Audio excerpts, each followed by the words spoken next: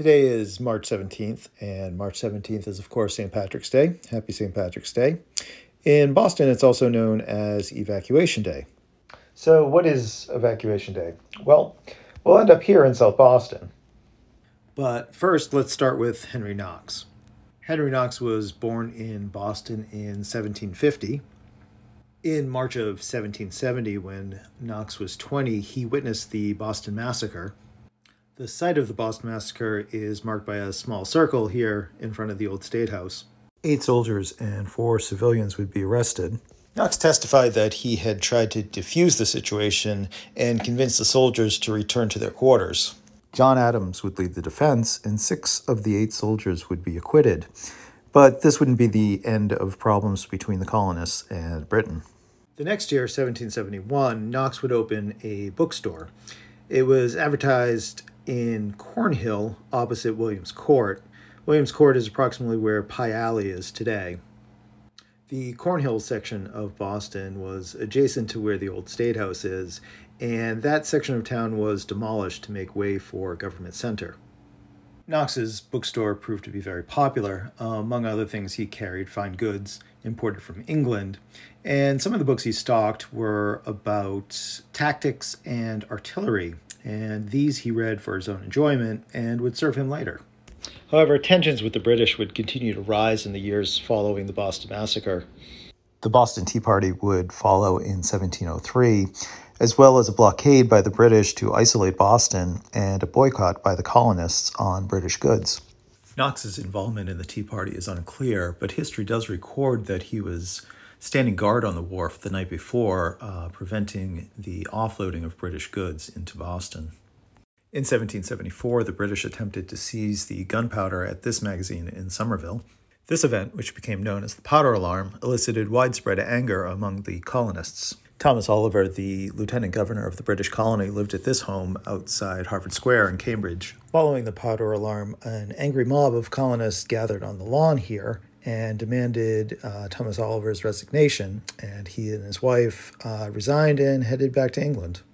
General Gage, the British commander, would continue to raid the countryside, trying to deprive the colonists of weapons. There were similar powder incidents uh, in Salem, Massachusetts, and in Portsmouth, New Hampshire. While the colonists were upset, none of these incidents caused any widespread trouble.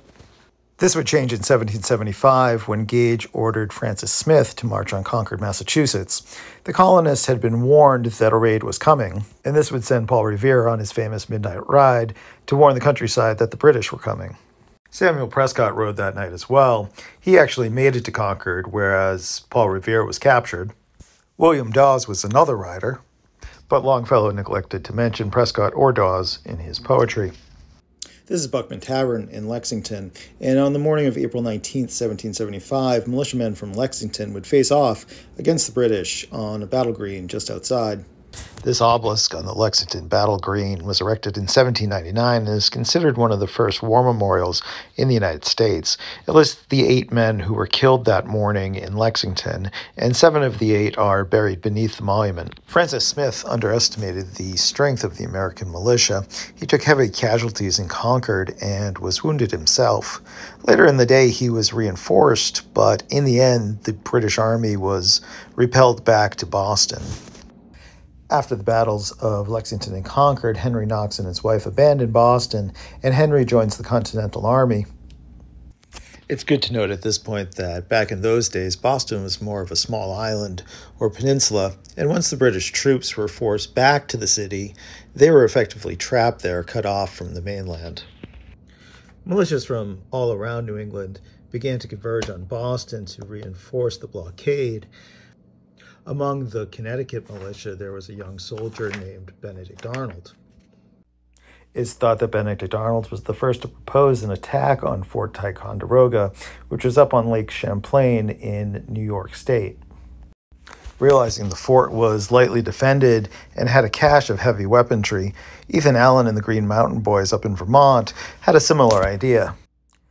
When Arnold realized that Ethan Allen was already on his way to the fort, Arnold rode ahead of his men and pushed his horse past the point of exhaustion to catch up with the Green Mountain Boys. Arnold Allen and a contingent of Green Mountain Boys rode across Lake Champlain late one night and took the fort by surprise. They captured it without firing even a single shot. Back in Boston, a struggle began to take control of the high ground overlooking the city.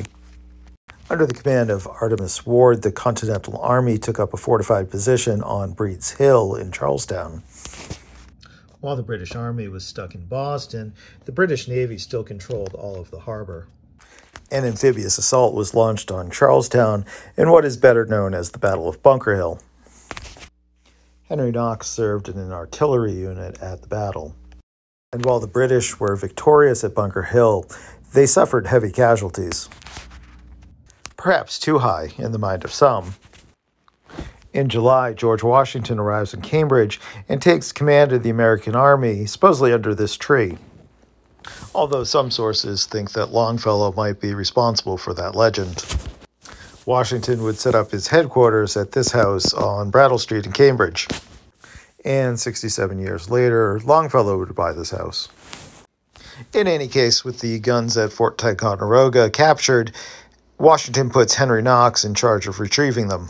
So begins the noble train of artillery. In the winter of 1775-1776, Knox loads up all the cannons and weaponry onto sleds and uh, transports them down from Lake Champlain along the border of New York and then into Massachusetts and across to Cambridge.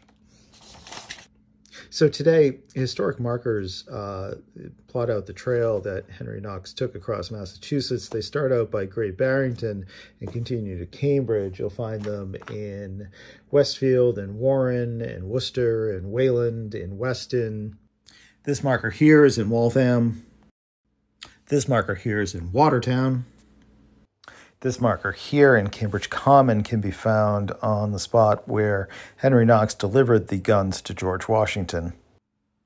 The marker in Cambridge Common is actually within sight of the Washington Elm, which is where George Washington took command of the army. From Cambridge Common, the guns are transported to General Thomas. With cannon fire from other sections of the mainland as a distraction, General Thomas brings the cannon up to the top of Dorchester Heights in the middle of the night, using hay to muffle the sounds and not attract attention. The next morning, the guns are spotted by General Howe, who's in charge of the British Navy. Howe decides to attack Dorchester Heights, but is thwarted by a sudden snowstorm.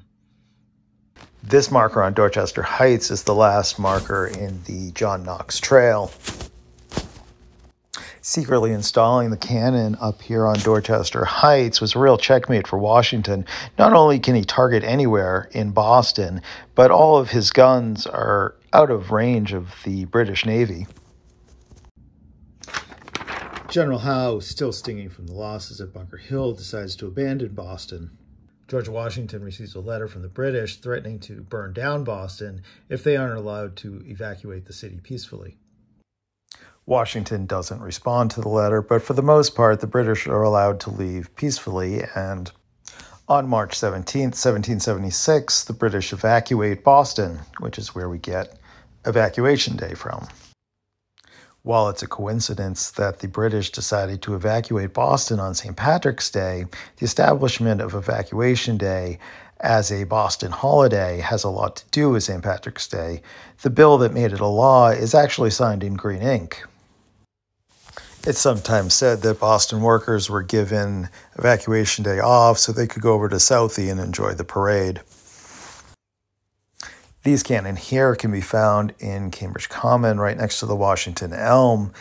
They aren't Henry Knox cannons. Uh, they are actually British cannons that were abandoned at Castle William on March 17th when the British left Boston. After the evacuation of Boston, General Gage is never given a military command again. General Thomas succumbs to smallpox and is buried in Kingston, Massachusetts. Back at Fort Ticonderoga, Benedict Arnold became very frustrated that the Green Mountain Boys would not follow his orders, so he headed north and captured another fort. Uh, he was unceremoniously replaced at that fort. Um, and feeling slighted uh, many times over the years, Benedict Arnold eventually betrays his country. Henry Knox retires to Maine. His home, named Montpelier, can be found in Thomaston, Maine, uh, along Route 1. It's run as a house museum now. And Thomaston is named after John Thomas, who received the guns from Knox and installed them on Dorchester Heights.